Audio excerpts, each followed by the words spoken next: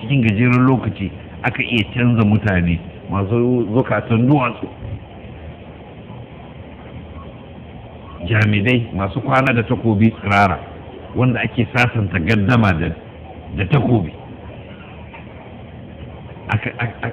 Aka juya su ya zuwa imani da Allah da bin ƙa'idan addini.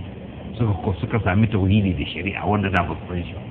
Su san ba su san hikima ba ba su san shari'a ba. Cikin gajeren lokaci aka yi wannan sauyin.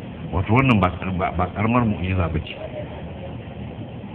Irin wannan mu'jizan ba ta faru da wasu kafin wannan manzon ba. To amma cikin gajeren lokaci kuma ko da ko da juyi ne irin na siyasa da aka yi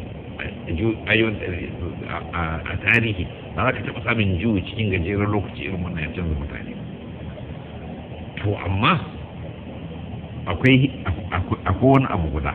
Su wa'annan mutanen sun ci akan bayan annabin ba su son wannan abu cika akalla ba su son shi. Sun yarda yanzu tun da daula ta samu ya za su riƙe daula. Amma a ce a manhajar annabi ya ci gaba kuma a gidan annabi kamar yadda shi annabin yake so kamar yadda ubangiji umarci shi to wannan ne ba ku to kuma ba dan karawa ake domin aka dan kara musu ba hikima ce ba hikima. Idan sun su mutane sukan kasa gane abin da yake a alamun tashri'i sai su koma da shi alamun takwini. Duniyoyi ne guda biyu takwini da tashri'i. Takwini a ranar abu ne yana tafiya kamar yadda Allah ya shirya shi. Kamar bayani nake da nake dangane da tsayin wata ranar laraban da ta wuce zai juya wani dare da rana. Ɗaya da akan ga wata ya kwana 29 ko 30 shekara kuma ta sami shekara kwana 350 da huɗu ko da hamsin da biyar. Wannan takwini ne tsararren abu ne. Fitowar rana da faɗuwar takwini ne. Yanayi ya zo zafi iska ruwa da sau takwini ne.